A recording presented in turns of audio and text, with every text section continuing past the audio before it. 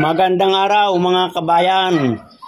Ito yung aking tanim na halamang pomegranate o granada sa Tagalog. At yan, makikita nyo ang kanyang mga bunga. Napakagaganda at kahaling tulad ng bunga ng bayabas. At kahit medyo hilaw pa, makikita nyo na mapupula na ang kulay ng kanyang bunga. At ang halamang yan mga kabayan, ay napakaganda sa ating kalusugan at yan ay nagtataglay ng anti-inflammatory properties, antioxidant at iba pang mga mineral na makatutulong sa ating kalusugan.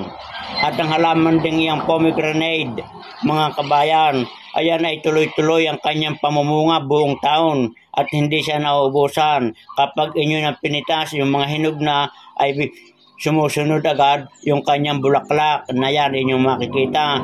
At pagkatapos ng kanyang pamumulaklak ay makakaroon na siya ng bunga. Kaya yan ay tuloy-tuloy at hindi napapatda ng kanyang bunga. Yun ang kagandahan sa halamang yan.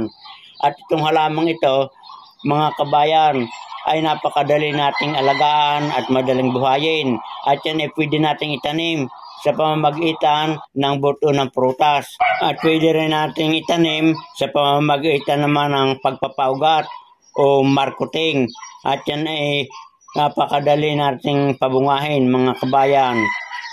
Hanggang dito na lamang at sana inyo nagustuhan ang aking binahagi ng halamang pomegranate.